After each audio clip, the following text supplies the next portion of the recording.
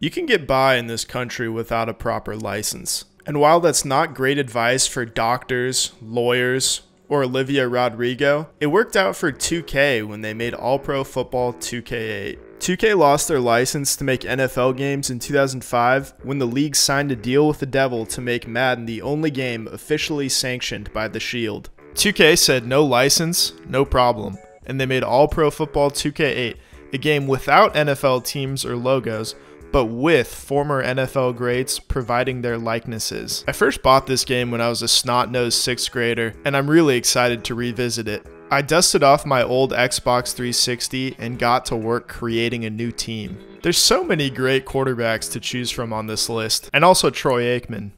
But I'm going to build my team around a running back. One of the best running backs to ever do it.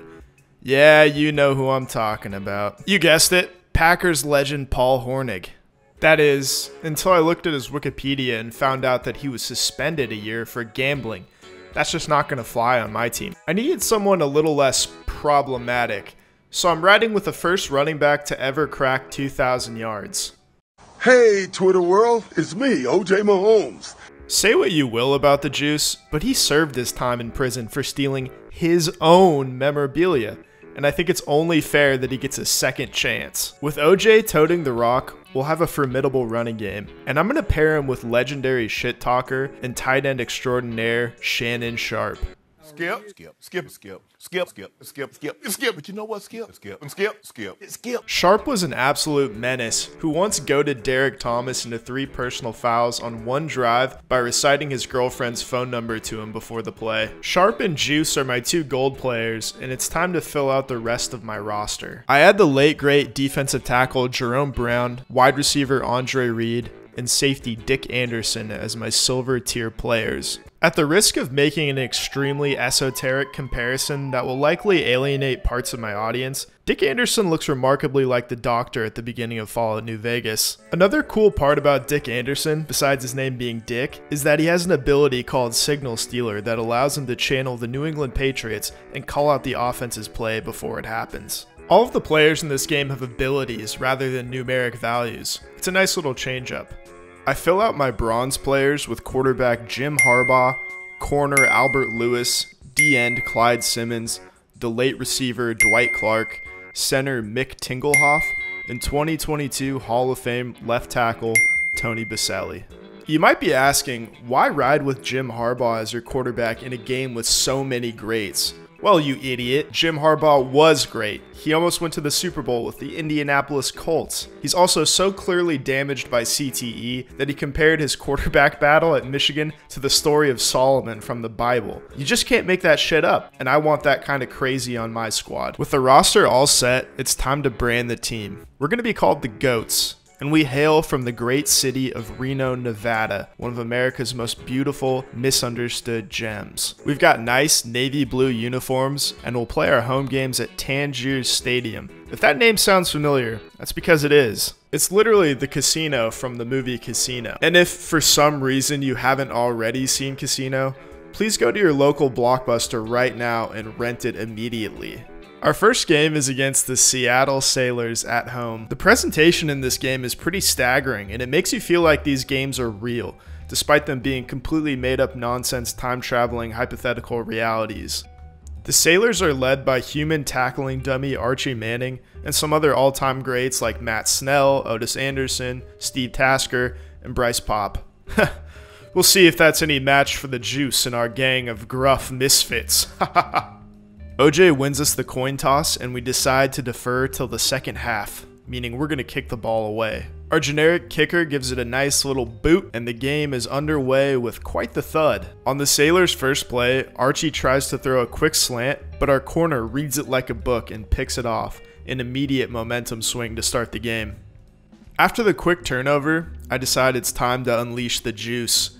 OJ gets the ball on our very first play and slices through the defense like a hot knife through butter. We're only two plays into the game and we've already built a seven point lead over the Sailors. But the Sailors also happen to have a very adept running game. Running back Matt Snell starts powering through our defense, and we simply have no answer for him. Here's a fun little tidbit about Matt Snell. He was easily the best player in Super Bowl III, accounting for 161 yards and the Jets' only touchdown in their victory. But guess who won MVP? Joe Goddamn Namath. On third down, Manning throws a bizarre pass to a receiver who's already out of bounds, and Jeff Jaeger tacks on a field goal to make it 7 to 3. On the ensuing kickoff, one if my nobody white guy receivers finds a lane and sets us up at the 38 yard line.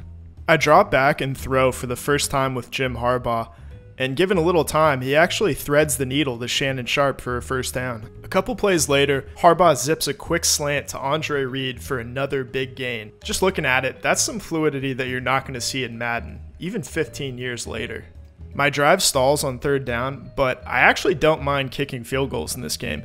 There's no meter to look at, and the stick mechanics are absolutely perfect. When you hit a field goal right, it feels like sex. Or at least what I imagine that feels like. On the first play of the ensuing Sailors' possession, my entire defense forgets how to tackle, and Matt Snell goes all the way on an 83 yard touchdown. In a totally classless act, Snell steals military valor and salutes the away crowd. Listen, only my Broncos can do that. It looks like we've got ourselves a good old fashioned running back duel because OJ answers with a long touchdown of his own, speeding faster than a white Ford Bronco all the way to the house. I guess defense is just not on the menu today, and Snell fires back with another easy sprint to the end zone to tie the game 17 all. And it's a really good thing that our running game is working because right now, Jim Harbaugh is throwing the ball like Russell Westbrook shoots threes. Fortunately, our fridge is still stocked with plenty of juice, and OJ takes the Sailors defense for a ride deep into their own territory. You know, it's kind of interesting to think that future generations will remember OJ as the kooky old guy from Twitter, unlike how I remember him, as a great running back and a delightful comedic actor. Juice breaks free again, and I'm sitting pretty with first and goal from the two yard line. But even with four cracks at the end zone, the Sailors defense performs an incredible goal line stand. I decide to go for it on fourth down, and I get completely rejected. It's like Brandon Staley is coaching this team. Well, we can't score on offense, but luckily our defense picks up the slack.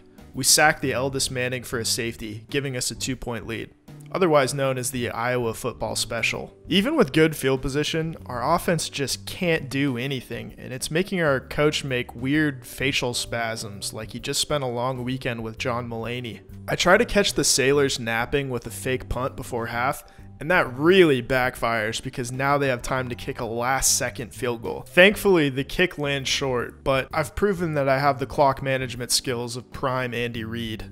It's now the second half, and I'm starting to find a good rhythm with Andre Reed in the passing game. Then I go back to OJ, who stabs a ball in midair and runs for a first down. I'm facing fourth down and nine, and while Jim Harbaugh has all day to throw in the pocket, seriously, all day, he throws into double coverage and Mel Renfro corrals the ball for an interception. I make the mistake of thinking I know how to tackle in this game, and we let Matt Snell run through our defense like he's a make a wish kid or something. Snell doesn't have a terminal disease or anything, but this defense is making me wish I did. We move to the fourth quarter, and the Sailors are threatening to take a two score lead, but our D finally stiffens, and we force Seattle to settle for a field goal. When you need a big play in the fourth quarter, you think players, not plays. Harbaugh throws a simple screen to OJ, and Mr. Simpson, well, he does the rest. It's OJ's third score of the game, and the crowd is absolutely losing their mind. They're all chanting, OJ did it! OJ did it! And by it, they mean he scored a touchdown. I don't know what else they could be referring to. Harbaugh calls his own number on the two point conversion, and we're all knotted up at 27. The Sailors get the ball back, and they immediately give the ball to Ottis Anderson. And, well, he absolutely rips the soul out of our defense for a 73 yard touchdown. And to add insult to injury, he does the cockiest tiptoe of all time into the end zone as the Sailors take a seven point lead. With just under three minutes left in the game, there's still plenty of time for the Goats to march down the field and tie this one up. Chris Doleman sacks Harbaugh on back to back plays to start this drive, and it looks like we might be dead in the water. But on 3rd and 27, Shannon Sharpe splits the cover 2 defense and somehow moves the chains, barely keeping our hopes alive. After that huge play to Shannon Sharpe, Harbaugh keeps the offense moving, and I can feel our momentum slowly building with every play. I feel like we're actually going to win this game. OJ snags another ball and takes us into the red zone, which is another name for his. Nope, nope, I'm not going to say it. I'm not going to say it. Jim Harbaugh picks the wrong time to start misfiring, and we're now staring at a do or die situation on 4th and 10. In a clutch moment like this, I feel like you have to go to Dwight Clark. So does he have another catch in him? Harbaugh takes a seven step drop, but the safety starts to read his eyes. Harbaugh throws to the corner of the end zone, and it's broken up. It's a tough way to lose the game, sure, but it's not unlike a Jim Harbaugh led team to blow it on a low percentage throw like that. Much like Colin Kaepernick, Archie Manning takes a knee, and that'll do it. It's times like these where I must find solace in the words of poets. So I turn to the great orator, Steve Harvey. OJ killed everybody in that driveway.